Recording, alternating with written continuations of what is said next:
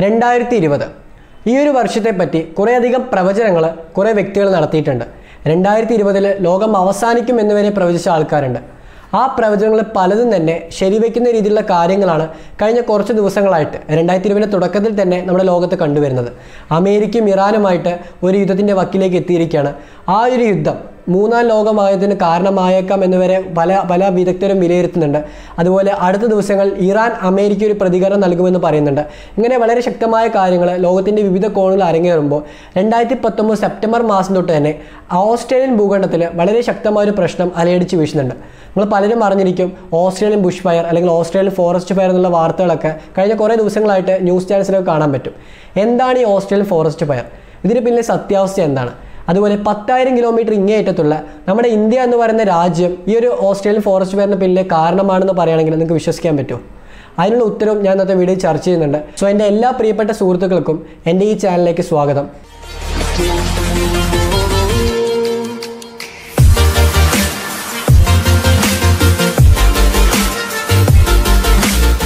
Australian forest fire ഈ ഒരു കാര്യത്തെപ്പറ്റി സംസാരിക്കുന്നതിന് മുമ്പ് ആമസോൺ മഴക്കാടുകളിൽ രണ്ടായിരത്തി പത്തൊമ്പത് ഓഗസ്റ്റ് മാസത്തിലുണ്ടായ ഒരു കാട്ടുതീയെപ്പറ്റി നിങ്ങൾ പറയാനുണ്ട് ഏകദേശം ഓരോ മിനിറ്റിലും ഓരോ ഫുട്ബോൾ ഗ്രൗണ്ടിന് അത്രയും വലിപ്പമുള്ള പ്രദേശമായിരുന്നു ആമസോൺ മഴക്കാടുകളിൽ ഈ ഒരു മാസങ്ങളിലായിട്ട് കത്തിച്ചാമ്പലായിക്കൊണ്ടിരുന്നത്. ഇതിന് പിന്നെ പ്രധാന കാരണം എന്ന് പറയുന്നത് മനുഷ്യന്മാരായിരുന്നു. അതായത് മനുഷ്യന്റെ സ്വാർത്ഥ താല്പര്യത്തിന് വേണ്ടിയിട്ട് അല്ലെങ്കിൽ കാട്ടിൽ അവരുടെ ഒരു കയ്യേറ്റം ചെയ്തിട്ട് വനനശീകരണം നടത്തിയിട്ട് അവിടെ ഫാക്ടറികളും അതുപോലെ ജനങ്ങൾക്ക് വാസയോഗ്യമായ പ്രദേശങ്ങളാക്കി മാറ്റാനും വേണ്ടിയിട്ട് അവിടെയുള്ള മനുഷ്യർ തന്നെ സ്വമേധയാ ഒരു കാട്ടുതീ ഉണ്ടാക്കിയതാണെന്നൊക്കെയാണ് പിന്നീട് കുറേ റിപ്പോർട്ടിൽ പുറത്തു വന്നത്. ആ ഒരു കാട്ടുതീയായിരുന്നു പിന്നീട് വലിയൊരു കാട്ടുതീയെ മാറി. ഏകദേശം ഒമ്പത് മില്യൺ ഏക്കർ മഴക്കാടുകളാണ് ആമസോൺ ഫോറസ്റ്റ് ഫയറിൽ കത്തിച്ചാമ്പലായത്. അതേസമയം ഓസ്ട്രേലിയൻ ഭൂഖണ്ഡത്തിൽ വന്ന് നോക്കുകയാണെങ്കിൽ പതിനാല് പോയിന്റ് ആറ് മില്യൺ ഏക്കർ ഭൂമിയാണ് ഇതുവരെ ഈ ഒരു കാട്ടുതീയിൽ കത്തിച്ചാമ്പലായത്. ഈ പതിനാല് പോയിന്റ് ആറ് മില്യൺ ഏക്കർ ഭൂമിയിൽ മിക്കതും മനുഷ്യർ താമസിച്ചുകൊണ്ടിരിക്കുന്ന പ്രദേശമാണ്. അതായത് ഏകദേശം രണ്ടായിരത്തോളം വരുന്ന വീടുകൾ ഇതുവരെ കത്തിച്ചാമ്പലായിട്ടുണ്ട്. അതുപോലെ നൂറ്റമ്പതോളം വരുന്ന ആൾക്കാർ മിസ്സിംഗ് ആണെന്ന് പറയുന്നുണ്ട്. ഇരുപത്തിമൂന്ന് പേര് ഒഫീഷ്യലായിട്ട് മരിച്ചു എന്നുള്ളൊരു കാര്യം സർക്കാർ പുറത്തുവിടുന്നുണ്ട്. പല സ്ഥലങ്ങളിലും മിസ്സിംഗ് ആയ ആൾക്കാരുടെ പോസ്റ്റേഴ്സ് കാണാൻ പറ്റുന്ന പറയുന്നത്. ഇതിന്റെ വേറൊരു പ്രത്യാഘാതം പറയുകയാണെങ്കിൽ നാൽപ്പത്തെട്ട് കോടി വരുന്ന അനിമൽസ് അതായത് ചെറിയ പക്ഷികളാണെങ്കിൽ ശരി മാമൽസ് ആണെങ്കിൽ ശരി ഇത്രത്തോളം വരുന്ന അനിമൽസ് ന്യൂ സൗത്ത് വെയിൽ എന്ന് പറയുന്ന ഒരു പ്രദേശത്ത് മാത്രം കൊല്ലപ്പെട്ടു എന്നാണ് പറഞ്ഞ ഒരു കാട്ടുതീയിൽ. അതിലുപരിയായിട്ടുള്ള വരുന്ന അനിമൽസ് ഇതുവരെ ഈ ഒരു കാട്ടുതീയിൽ പല പ്രദേശങ്ങളിലും മരണപ്പെട്ടിട്ടുണ്ട്. അല്ലെങ്കിൽ ഈ ഒരു കുറേ അധികം വരുന്ന അനിമൽസ് രക്ഷപ്പെട്ട് മാറിയിട്ടുണ്ടെങ്കിൽ പോലും അടുത്ത ദിവസങ്ങളിൽ അവയും കൂടെ മരണപ്പെടാൻ കാരണമാകുന്ന പറയുന്നത്. നാൽപ്പത് ശതമാനത്തോളം വരുന്ന കാടുകൾ ഇതുവരെ കത്തിച്ചാമ്പലായി. സോ ഈ രക്ഷപ്പെട്ട അനിമൽസിന് പോലും അവർക്ക് ഭക്ഷിക്കാനായിട്ട് ഭക്ഷണമോ അല്ലെങ്കിൽ ഒന്നും തന്നെ ഇനി അടുത്ത ദിവസങ്ങളിൽ കിട്ടില്ല എന്നാണ് പറയുന്നത്. അതുകൊണ്ട് തന്നെ രക്ഷപ്പെട്ട അനിമൽസ് പോലും വരും ദിവസങ്ങളിൽ മരണപ്പെടുന്ന പറയുന്നത്. ഇത്രത്തോളം വലിയൊരു ക്രുവാലിറ്റിയാണ് ഈ ഒരു ഓസ്ട്രേലിയ എന്ന് പറയുന്ന ഭൂഖണ്ഡത്ത് കഴിഞ്ഞ കുറച്ച് മാസങ്ങളായിട്ട് ഉണ്ടായിക്കൊണ്ടിരിക്കുന്നത്. ഇതിന് പിന്നെ കാരണം ആരാ ചോദിക്കുകയാണെങ്കിൽ ഈ ഒരു കാട്ടുതീക്ക് ഇരുപത് ശതമാനത്തോളം വരുന്ന കാരണം മനുഷ്യർ തന്നെയാണെന്ന് പറയുന്നത്. അതായത് മനുഷ്യനിർമ്മിതമാണ് ഇരുപത് ശതമാനത്തോളം വരുന്ന കാട്ടുതീ എന്ന് പറയുന്നത്. അതെങ്ങനെ ചോദിക്കുകയാണെങ്കിൽ ആമസോൺ ഫോറസ്റ്റ് ഫയറിൽ എങ്ങനെയാണോ മനുഷ്യരാണ് കാരണമെന്ന് പറഞ്ഞത്. അത് മനുഷ്യനിർമ്മിതമായിരുന്നു ആമസോൺ ഫോറസ്റ്റ് ഫയർ എന്ന് പറഞ്ഞത്. മനുഷ്യർ അവിടെ കുറേ വനഭൂമി കയ്യേറാൻ വേണ്ടിയിട്ട് അല്ലെങ്കിൽ മനുഷ്യർക്ക് അവിടെ പുതിയ ഫാക്ടറീസ് പണിയാൻ വേണ്ടിയിട്ട് അല്ലെങ്കിൽ അവിടെ താമസിക്കുന്ന ഗോത്രവർഗക്കാർ അവർക്ക് കൃഷി ആവശ്യത്തിന് വേണ്ടിയിട്ടായിരുന്നു അവിടെ ഒരു കാട്ടുതീ ഉണ്ടാക്കിയതെന്നും അങ്ങനെ വനഭൂമി കുറച്ച് നശിപ്പിച്ചതിന് ശേഷം അവിടെ കൃഷി ചെയ്യാൻ വേണ്ടി അവർ പ്ലാൻ ചെയ്തതെന്ന് പറഞ്ഞ പോലെ തന്നെയായിരുന്നു. ഓസ്ട്രേലിയയിലും ഇതേപോലെ ഒരു കാര്യമാണ് ഉണ്ടായെന്നാണ് പറയുന്നത്. അതിനെ കൂടാതെ ഓസ്ട്രേലിയയിലെ യൂത്ത്സ് കുറേ ആൾക്കാർ അവിടെ യുവജനങ്ങളായിട്ടുള്ള കുറേ ആൾക്കാർ അവരും ഇതിനൊരു കാരണം എന്നാണ് പറയുന്നത്. അവരുടെ സൈക്കോസിനെ പോലെ ജസ്റ്റ് പിക്നിക്കിന് പോവുക അല്ലെങ്കിൽ വലിയ ടൂറിന് പോവുക എന്നിട്ട് അവിടെയുള്ള ചെറിയൊരു ചെറിയൊരു ഫോറസ്റ്റ് ഏരിയ കത്തിക്കുക. അങ്ങനെ ഒരു കാര്യം അവിടെ ചെയ്തുകൊണ്ടാണ് ഇരുപത് ശതമാനത്തോളം വരുന്ന ഈ ഒരു കാട്ടുതീക്ക് കാരണം മനുഷ്യരാണെന്ന് പറയാനുള്ളൊരു കാര്യം. അതുപോലെ തന്നെ ബാക്കി വരുന്നൊരു എൺപത് ശതമാനത്തിന് കാരണം പ്രകൃതിയാണോ എന്ന് ചോദിക്കുകയാണെങ്കിൽ പ്രകൃതിയല്ല. അതും മനുഷ്യർ തന്നെയാണ്. അതെങ്ങനെയുള്ള കാര്യം ഞാൻ പറഞ്ഞുതരാം.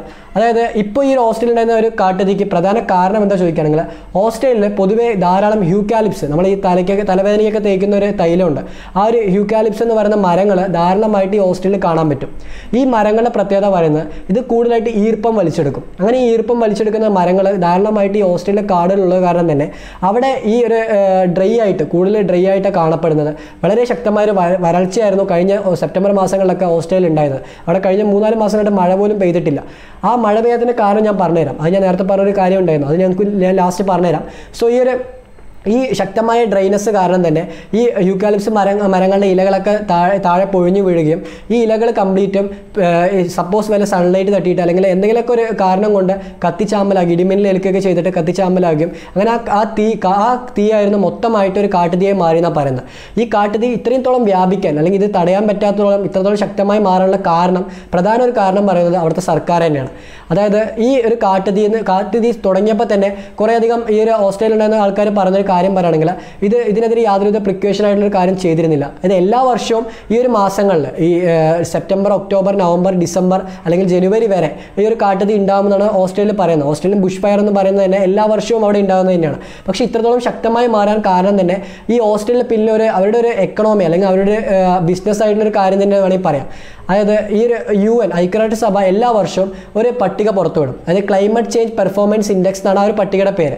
ഈ പട്ടികയിൽ അമ്പത്തേഴ് രാജ്യങ്ങൾ ഉൾപ്പെടുന്നത്. അതെങ്ങനെ അതെന്താ ഈ എന്താ പട്ടിക ചോദിക്കുകയാണെങ്കിൽ ഈ ക്ലൈമറ്റ് ചേഞ്ചിന് വേണ്ടി പ്രവർത്തിക്കുന്ന രാജ്യങ്ങൾ അല്ലെങ്കിൽ അവ എത്രത്തോളം ഒരു രാജ്യങ്ങൾ പങ്കാളിത്തം സ്വീകരിച്ചു എന്നുള്ള കാര്യമാണ് ഈ പട്ടികയിൽ പുറത്തുവിടുന്നത് ഇതിൽ അമ്പത്തേഴ് രാജ്യങ്ങളിൽ അമ്പത്തേഴാം സ്ഥാനമാണ് ഈ ഓസ്ട്രേലിയ എന്ന് പറയുന്ന രാജ്യത്തുണ്ടായത്. ഏകദേശം ആ ഓസ്ട്രേലിയ വേറൊരു കാര്യം പറയുകയാണെങ്കിൽ ഓസ്ട്രേലിയയിലാണ് ഈ നമ്മുടെ ഇപ്പോൾ ലോകത്തുണ്ടാകുന്ന ഈ ഒരു ഗ്രീൻ ഹൗസ് ഗ്യാസ് എമിഷനിൽ ഏറ്റവും കൂടുതലായിട്ട് ഓസ്ട്രേലിയയാണ് എമിറ്റ് ചെയ്യുന്ന പറയുന്നത്. തൊണ്ണൂറ് ശതമാനത്തോളം വരുന്ന ഈ ഒരു എമിഷൻ ഓസ്ട്രേലിയയിൽ ഉണ്ടാകുന്ന പറയുന്നത്. അതുപോലെ ഓസ്ട്രേലിയയിൽ നമ്മൾ ഈ കൽക്കരിയിൽ കൽക്കരി രണ്ടായിരത്തി പതിനേഴിൽ ഏറ്റവും കൂടുതൽ കയറ്റുമതി ചെയ്ത രാജ്യങ്ങളിൽ നാലാം സ്ഥാനത്തായിരുന്നു രണ്ടായിരത്തി പതിനേഴിൽ ഓസ്ട്രേലിയ. പക്ഷേ രണ്ടായിരത്തി പതിനെട്ട് ആയപ്പോഴേക്കും അത് രണ്ടാം സ്ഥാനത്തേക്ക് മാറി. രണ്ടായിരത്തി പത്തൊമ്പതിൽ ഇനിയും അത് കൂടുന്ന പറയുന്നത്. ഇങ്ങനെ പ്രകൃതിയെ യാതൊരുവിധ പരിഗണന നൽകാതെ അവരവിടെ സ്വാർത്ഥമായി ഒരു ബിൽഡിംഗ് കൺസ്ട്രക്ട് ചെയ്യുക അല്ലെങ്കിൽ ഡെവലപ്മെന്റ് ആണെന്നൊക്കെ പറഞ്ഞിട്ട് കുറേ കാട് വെട്ടി വെട്ടിത്തെളിക്കുക. അങ്ങനെ ശക്തമായ രീതിയിലേക്ക് കാടിനെ ആക്രമിച്ച് കയറുക അല്ലെങ്കിൽ പ്രകൃതി നശിപ്പിച്ചപ്പോഴായിരുന്നു ഇപ്പോൾ ഇത്രയും ശക്തമായ ഒരു പ്രശ്നം അവിടെ നേരിട്ടെന്നാണ് വിദഗ്ധരായ ആൾക്കാർ പറയുന്നത്. ഈ ഒരു കാര്യം ഞാൻ പറഞ്ഞിരുന്നു. അതായത് ഇത്രത്തോളം വ്യാപകമായ രീതിയിൽ ഈ ഒരു കാട്ടുതീ ഉണ്ടായതിന് പിന്നിലെ കാരണം ഇത് തന്നെയാണ് അവിടെ പ്രധാനമായിട്ടും ഈ വീടുകളൊക്കെ കൺസിഡർ ചെയ്തിരിക്കുന്നത് മരം കൊണ്ടാണ്. നമ്മുടെ നാട്ടിലെ പോലെ കോൺക്രീറ്റോ അല്ലെങ്കിൽ സിമെന്റ് ഒന്നും കൊണ്ടല്ല അവിടെ വീടുകൾ കൺസിഡർ ചെയ്തിട്ടുള്ളത്. അവിടെ മരങ്ങളാണ് പ്രധാനമായിട്ടും വീട് കൺസിഡർ ചെയ്യുന്ന ജനങ്ങൾ യൂസ് ചെയ്യുന്നത്. സോ അതുകൊണ്ട് തന്നെ വീടുകളൊക്കെ മൊത്തമായിട്ട് കത്തിച്ചാമ്പലെന്ന് പറയുന്നത്. ഈ ഒരു അവിടെയുള്ള ആൾക്കാർ ഒരു ലക്ഷത്തോളം വരുന്ന ആൾക്കാർ ഇപ്പോൾ കടൽ തീരങ്ങളായിട്ട് താമസിച്ചുകൊണ്ടിരിക്കുകയാണ്. ഏത് സമയത്തും കാട്ടുതീ അവിടെ എത്തിയേക്കാന്നുള്ള കാരണം തന്നെ ഇത്രത്തോളം ആൾക്കാർ അവിടെ നിന്ന് ഒഴിപ്പിച്ച് കടൽ തീരത്ത് കൊണ്ട് നിർത്തിയിട്ടുണ്ട്. അവരെല്ലാവരും തന്നെ കൊണ്ടുപോകാനായിട്ട് നൂറോളം വരുന്ന കപ്പലുകൾ തയ്യാറായി നിൽക്കുകയാണ് ഈ കടൽ തീരത്ത് അപ്പോൾ ഇത്രത്തോളം ഒരു തീവ്രമായ ഒരു അവസ്ഥയാണ് ഇപ്പോൾ ഓസ്ട്രേലിയ ഉണ്ടായിക്കൊണ്ടിരിക്കുന്നത്. ഇതിന് പിന്നിലെ കാരണം അല്ലെങ്കിൽ ഞാൻ നേരത്തെ പറഞ്ഞൊരു കാര്യമുണ്ടായിരുന്നു. പത്തായിരം കിലോമീറ്റർ ഇങ്ങേറ്റത്തുള്ള ഇന്ത്യയും ഇതിനൊരു കാരണമാണെന്ന് പറഞ്ഞായിരുന്നു. അത് എങ്ങനെയുള്ള ചോദ്യത്തിന് ഉത്തരം ഞാൻ പറയാം. അതായത് എല്ലാ നമുക്ക് ഈ ഒരു നമ്മുടെ ഈ ഒരു ഇന്ത്യൻ ഭൂഖണ്ഡത്തിന്റെ പ്രത്യേകത പറയുകയാണെങ്കിൽ അതായത് ഇന്ത്യൻ ഉപഭൂഖണ്ഡത്തിന്റെ പ്രത്യേകത പറയുകയാണെങ്കിൽ എപ്പോഴും നമ്മുടെ ഇന്ത്യയുടെ ഒരു കാലാവസ്ഥ മാറ്റം അല്ലെങ്കിൽ ഇന്ത്യയിലെ കാലാവസ്ഥ അനുസരിച്ച് ലോകത്തുള്ള പല രാജ്യങ്ങളിലും കാലാവസ്ഥ മാറാറുണ്ട്. ഇതിനെ പൊതുവെ ഇന്ത്യൻ നീനോ പ്രതിഭാസം എന്ന് പറയും. അതായത് ഇന്ത്യയിലെ ഒരു പോളാർ പ്രതിഭാസം എന്നൊക്കെ പറയാറുണ്ട്. അതെന്താ ചോദിക്കുകയാണെങ്കിൽ നമ്മളിപ്പോൾ നിങ്ങൾ ഗൂഗിളിൽ നോക്കിയാൽ മനസ്സിലാക്കാൻ പറ്റും. ഇന്ത്യയിൽ ഒരു ഒരു പ്രത്യേക സാഹചര്യത്തിൽ കൂടുതൽ മഴ ലഭിക്കുകയാണെങ്കിൽ അത് ഒരു പക്ഷേ ഓസ്ട്രേലിയൻ ഭൂഖണ്ഡത്തിലോ അല്ലെങ്കിൽ ആഫ്രിക്കൻ ഭൂഖണ്ഡത്തിലോ ഏതെങ്കിലും രണ്ട് ഭൂഖണ്ഡങ്ങളിലോ ശക്തമായ മഴയോ അല്ലെങ്കിൽ ഒരു ഭൂഖണ്ഡത്തിൽ ശക്തമായ തണുപ്പോ അനുഭവപ്പെടാറുണ്ട്. ഇത് ഇപ്പോൾ എന്താ ഉണ്ടായി ചോദിക്കുകയാണെങ്കിൽ ആഫ്രിക്കയിൽ വളരെ ശക്തമായ ഒരു തണുപ്പ് അല്ലെങ്കിൽ അവിടെ ശക്തമായ ഒരു മഴ ലഭിച്ചുകൊണ്ടിരിക്കുന്നുണ്ട്. ഇന്ത്യയിലും കഴിഞ്ഞ കുറേ നമുക്കിപ്പോൾ മൺസൂണൊക്കെ വളരെ ലേറ്റ് ആയിട്ടായിരുന്നു കഴിഞ്ഞത്. അപ്പോൾ അത്ര കുറേ സ്ഥലങ്ങൾ ഫ്ലഡിങ് ആയിരുന്നു. അങ്ങനെ ഒരു നമ്മുടെ ഇവിടുത്തെ ക്ലൈമറ്റ് കംപ്ലീറ്റ് മാറിയതുകൊണ്ട് തന്നെ ഓസ്ട്രേലിയയിൽ അത് അഫക്റ്റ് ചെയ്തെന്നും ഓസ്ട്രേലിയ വളരെ വരൾച്ചയായിരുന്നു. അങ്ങനെ ഈ വരൾച്ച കാരണം തന്നെ ഈ ഒരു മാസങ്ങളിൽ ശക്തമായ ചൂടായിരുന്നു. നാൽപ്പത്തൊന്ന് ഡിഗ്രി സെൽഷ്യസ് വരെയൊക്കെയാണ് ചൂട് പോയെന്നാണ് പറയുന്നത്. ഇത്ര ശക്തമായ ചൂട് കാരണം തന്നെ ഈ കാട്ടുതീ വളരെ ശക്തമായി വ്യാപിച്ചു എന്നാണ് പറയുന്നത്. അപ്പോൾ നമ്മൾ ഓരോരുത്തർ അല്ലെങ്കിൽ നമ്മൾ ഇന്ത്യക്കാർ മാത്രമല്ല ലോകത്തുള്ള എല്ലാവരും നമ്മുടെ ലോകത്തിലെ ഒരു കാലാവസ്ഥ മാറുന്നതിന് പ്രധാന കാരണമാണ്.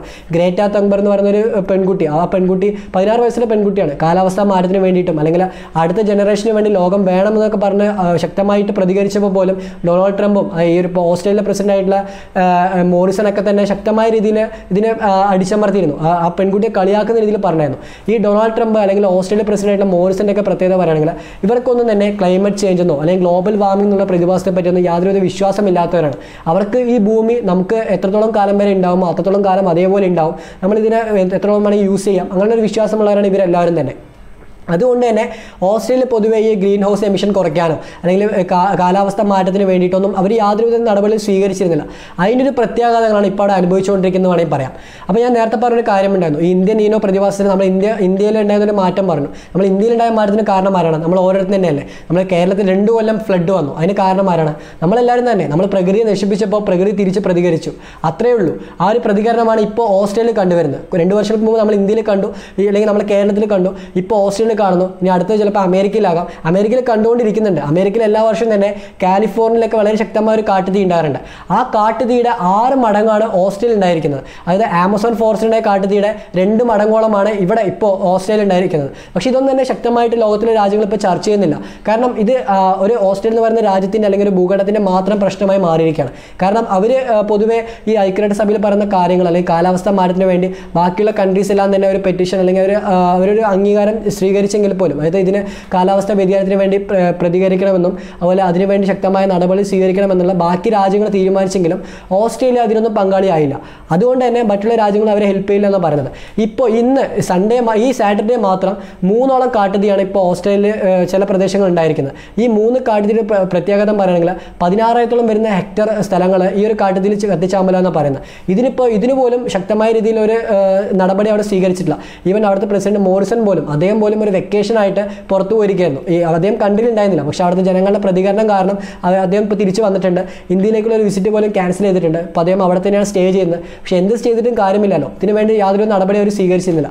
എല്ലാ വർഷവും അവിടെ ഉണ്ടാകുന്നതാണ്. ഇങ്ങനെ ഒരു കാര്യം ഉണ്ടാകുന്നവർക്ക് അറിയാം പക്ഷേ അവർ അതിനൊരു നടപടി സ്വീകരിച്ചില്ല. അപ്പോൾ എനിക്ക് നിങ്ങളോട് പറയാനുള്ള കാര്യം പറയുകയാണെങ്കിൽ ഈ ഇനി അടുത്ത വർഷങ്ങൾ അല്ലെങ്കിൽ ഈ വർഷം തന്നെ ഇതിനും ശക്തമായ കാര്യങ്ങൾ നമ്മൾ ഇന്ത്യയിൽ സംഭവിച്ചേക്കാം. നമ്മളെല്ലാവരും തന്നെ അത് ഒരുമിച്ച് മനസ്സ് വെച്ചാൽ മാത്രമേ അതിന് ഒരു പരിഹാരം കാണാൻ പറ്റുള്ളൂ. നമ്മൾ വെറുതെ നല്ലോണം മഴ പെയ്യുന്നു അല്ലെങ്കിൽ നല്ലോണം ഫ്ലഡ് ഉണ്ടാകുന്നൊക്കെ പറയുന്നൊരു കാര്യമില്ല. അതിന് പിന്നെ കാരണം നമ്മൾ ഓരോരുത്തർ തന്നെയാണ്. ഫ്ലഡ് ഉണ്ടാകുന്ന കാരണം നമ്മൾ കഴിഞ്ഞ ഇതിനു മുമ്പ് ഞാൻ കുറേ വീഡിയോ ചർച്ച ചെയ്താണ് ഇവിടെ വളരെ ശക്തമായ രീതിയിൽ ഖനനം നടക്കുന്നുണ്ട്. അല്ലെങ്കിൽ നമ്മൾ കാടുകളൊക്കെ വെട്ടിത്തെളിച്ച് അല്ലെങ്കിൽ കാടുള്ള പ്രദേശത്ത് ഈ നദികൾ ഒഴുകിയിരുന്ന പ്രദേശത്തേക്ക് നമ്മൾ വീട് നിർമ്മിച്ചത്. അതുകൊണ്ട് തന്നെ നമ്മളത് എഫക്ട് ചെയ്തു. അതുപോലെ ഇനി അടുത്ത ഈ ഒരു വർഷം തന്നെ ചിലപ്പോൾ കൂടുതലായിട്ട് ഇങ്ങനത്തെ പ്രശ്നങ്ങൾ ഉണ്ടായേക്കാം. ശക്തമായ ഒരു വരൾച്ച ഉണ്ടായേക്കാം. അല്ലെങ്കിൽ ശക്തമായ ചൂടുണ്ടായേക്കാം അങ്ങനെ ഇതിന് ശക്തമായ തണുപ്പ് ഉണ്ടായേക്കാം. ഇപ്പോൾ എല്ലാം ലോകം മൊത്തം ഒരു ക്ലൈമറ്റ് ചേഞ്ച് ഫേസ് ചെയ്യാണ്. ഇപ്പോൾ ചൂടുണ്ടാകുന്ന സമയത്ത് വളരെ ശക്തമായ ചൂട് തണുപ്പാണെങ്കിൽ വളരെ ശക്തമായ തണുപ്പ് മഴയാണെങ്കിൽ വളരെ ശക്തമായ മഴ ഇങ്ങനെ എല്ലാം കൂടി വരികയാണ്. ഇത് കൂടി വരുന്നത് നമുക്കിനി അടുത്ത തലമുറയെ ബാധിക്കുന്നത് നമ്മുടെ മക്കളെ അല്ലെങ്കിൽ നിങ്ങളുടെ ഓരോരുത്തരെയും മക്കളെ അവരുടെ മക്കളെയൊക്കെ ആയിരുന്നു ബാധിക്കുന്നത്. നമ്മൾ ചിലപ്പോൾ ബാധിക്കില്ലായിരിക്കാം. പക്ഷേ അവർക്കും വേണ്ടി ഒരു ലോകം നമ്മൾ കരുതി വെക്കണം. ആ കാര്യങ്ങൾ ഓർമ്മിക്കാനുണ്ട്. നിങ്ങൾക്ക് പറ്റ നിങ്ങളെ ഇതിനു വേണ്ടി ഹോസ്റ്റലിൽ പോയിട്ട് അവിടെ ഈ തീ കാടുതി അടയ്ക്കാനായിട്ട് ശ്രമിക്കണം എന്ന് ഞാൻ പറയുന്നില്ല. നിങ്ങൾ നിങ്ങളുടെ തൊട്ടടുത്തുള്ള ഒരു മരമോ അല്ലെങ്കിൽ ഒരു ചെടിയോ അതിനെ സംരക്ഷിക്കുക. നിങ്ങൾ പുതിയൊരു മരം വെക്കണമെന്നോ അല്ലെങ്കിൽ പുതിയ ചെടി നടണമെന്ന് ഞാൻ പറയുന്നില്ല. ഉള്ള മരങ്ങളെ സംരക്ഷിക്കാൻ ശ്രമിക്കുക. അല്ലെങ്കിൽ അവയെ ഒന്ന് എന്തെങ്കിലും രീതിയിൽ സ്നേഹമെങ്കിലും നൽകാൻ ശ്രമിക്കുക. അവരെ ഒരിക്കലും നിങ്ങളെ ഒരു നിങ്ങളുടെ ഒരു വികസനത്തിന് വേണ്ടിയിട്ടോ അല്ലെങ്കിൽ നിങ്ങളുടെ വീടിന്റെ ഒരു ഡെവലപ്മെന്റിന് വേണ്ടിയിട്ടോ ഒരു ഇൻഫ്രാസ്ട്രക്ചർ കൂട്ടാൻ വേണ്ടിയിട്ടോ അതിന് വേണ്ടിയിട്ടൊന്നും നിങ്ങളെ ഒരു തൊട്ടടുത്തുള്ള മരം പോലും നശിപ്പിക്കരുത്. നാളെ നിങ്ങളുടെ വീട്ടിലൊരു ചൂട് കൂടുന്നുണ്ടെങ്കിൽ നിങ്ങളൊരു എ സി വാങ്ങി ഫിറ്റ് ചെയ്യും. ആ A C green house gas emit ചെയ്യും. ആ എമിഷൻ നാളെ തിരിച്ച് നിങ്ങളെ തന്നെ എഫക്റ്റ് ചെയ്യും. സൈക്കിൾ തന്നെയാണ് എല്ലാം അത് നിങ്ങൾ മനസ്സിലാക്കുക. എന്നത് മനസ്സിലാക്കുന്നു? അന്ന് നമ്മുടെ ലോകം ചിലപ്പോൾ ഒരു പരിധി വരെയെങ്കിലും ഒരു വലിയൊരു അപകടത്തിൽ നിന്ന് രക്ഷപ്പെടാനുള്ള കാരണമായി മാറിയേക്കാം. ഇത്രയും പറഞ്ഞു ഞാൻ വീഡിയോ നിർത്തുകയാണ്. സോ എന്തെങ്കിലും പോയിന്റ്സ് വിട്ടിട്ട് ഞാൻ കമന്റ് ബോക്സിൽ ലീവ് ചെയ്യാം. നാളെ ഒരു പുതിയ വീഡിയോ ആയിട്ട് വരാം. സോ നിങ്ങൾക്ക് വീഡിയോ ഇഷ്ടമായി നിങ്ങളുടെ ഫ്രണ്ട്സിന് ഷെയർ ചെയ്ത് കൊടുക്കുക. കാരണം മാക്സിമം ഷെയർ ചെയ്യണം. നിങ്ങളുടെ അറിവുകൾ ഇങ്ങനെയുള്ള അറിവുകളാണ് നമ്മൾ ഷെയർ ചെയ്യേണ്ടത്. ഈ അറിവുകൾ മറ്റുള്ളവർ അറിഞ്ഞാൽ മാത്രമേ നാളെ അവർക്കും ഈ ഒരു കാര്യം മനസ്സിലാവുകയുള്ളൂ നമ്മുടെ പ്രകൃതി നമ്മളെ നശിപ്പിക്കുന്ന കാര്യം അവർക്ക് ബോധ്യമാവുകയുള്ളൂ. സോ മാക്സിമം നിങ്ങൾ ഷെയർ ചെയ്ത് കൊടുക്കുക എല്ലാവർക്കും. So thank for watching my video നാളെ ഒരു പുതിയ വീഡിയോ ആയിട്ട് വരാം. സോ എല്ലാവർക്കും ഗുഡ് നൈറ്റ് ബൈ